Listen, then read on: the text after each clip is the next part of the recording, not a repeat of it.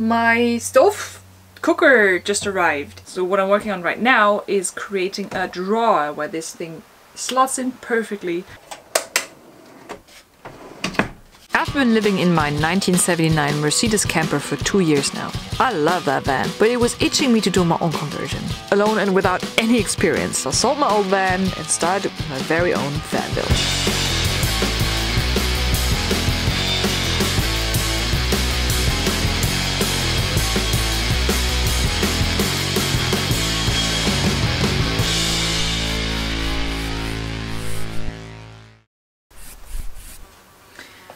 So the way I'm building these drawers is actually quite simple. I have a 8 millimeter thick uh, plywood, which is quite thick for the drawer bottoms, but um, that's what I ended up with. And then I have this really thick and heavy wood for the side pieces. And uh, the reason why I'm not using thinner wood is because I had these, again, those were gifted to me from a, by a friend. I still have this lying around, so I'm going to use these for the drawers as well. Those will go on the sides like this. And that's basically, you know, a box, a drawer, and then I'm going to put some trim pieces around the edges to make a nice uh, drawer front but that's something for the future. I think this one is the nicest. It's going to be my front. This is what's going to face outwards. And then um, I'm just screwing these, you know, this wood together. I pre-drilled some pocket holes here. Um, so that makes it really nice and simple to join. Hopefully.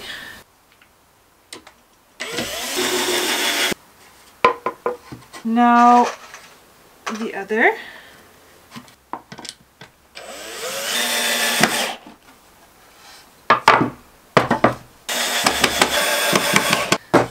So there I've got the box and then just gonna flip it around like that.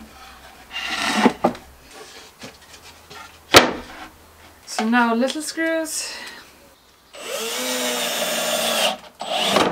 you know, screw them in like that. Very simple.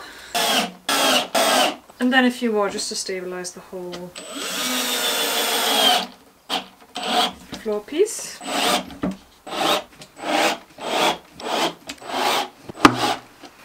Alright, and that's it. This is the drawer. Beautiful.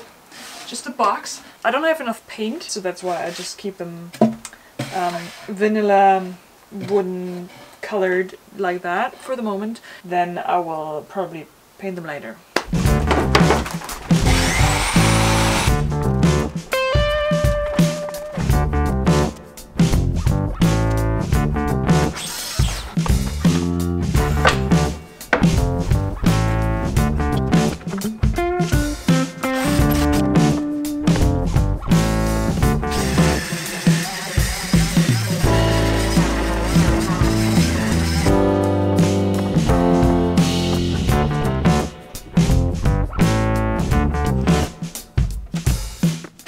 And that's it. Those are the four drawers that go underneath the bed. And I'm currently faking the paint. You, as you can see, only the front is painted uh, all around the back and the inside is not painted yet.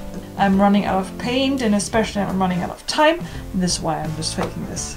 But yeah, they are huge. You can't really see that on the video. This is how big these drawers are. So that's quite a lot of storage underneath the bed. Um, as you can see I made this really really tiny uh, drawer up there and that's uh, basically just for small stuff that is much easier to organize I think uh, when I have smaller drawers and the other drawers are for the space. Um, really happy about the result. First time making drawers and those seem really sturdy, a little bit heavy, but that's because I'm using the reclaimed wood. It's getting dark here, so I will continue tomorrow. See you tomorrow guys.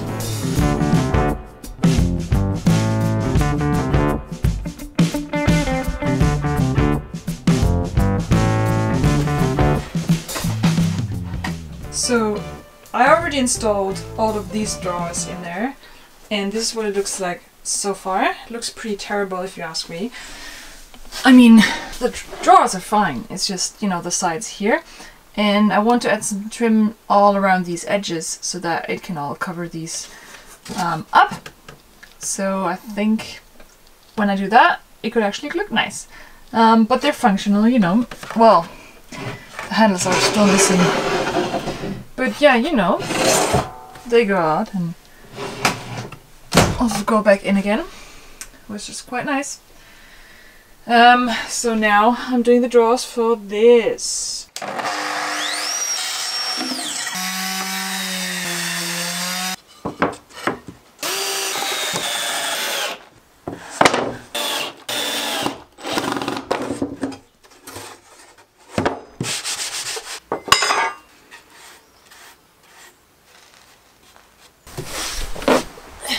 So I'm using these draw tracks here. Um, they're quite sturdy and heavy and not super cheap. That's something you should consider.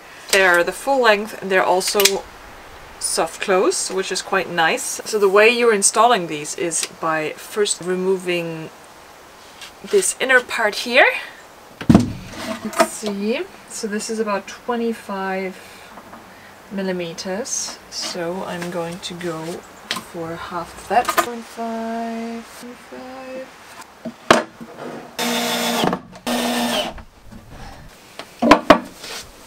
Make sure that this side, well in my case this side, but the right side uh, points to the front.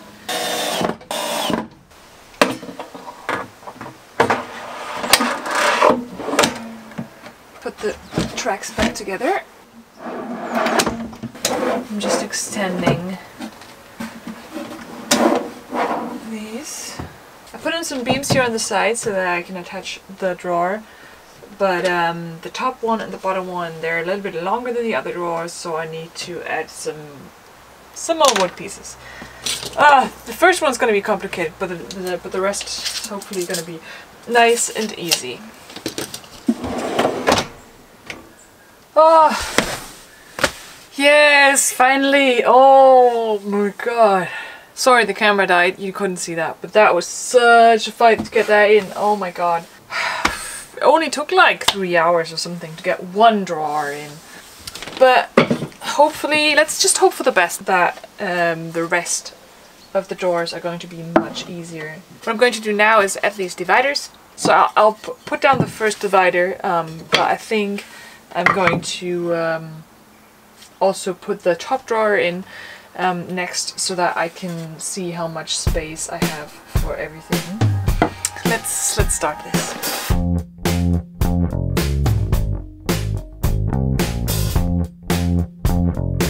Okay.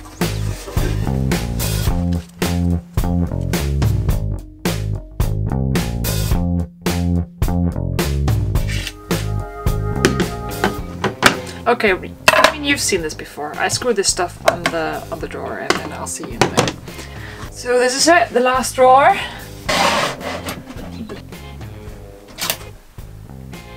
What? What? What? Did, what was that? What? What was that for? Alright. But at least that fits.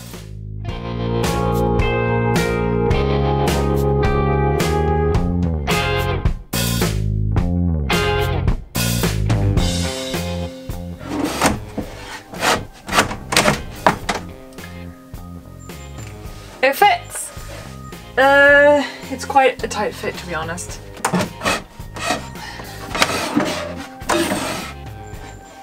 Ah, I see. But you know what? Ah, I'm fine with anything today. I'm just super happy that this is done. Oh my god. Drawers! Who would have thought that this would be so much hassle?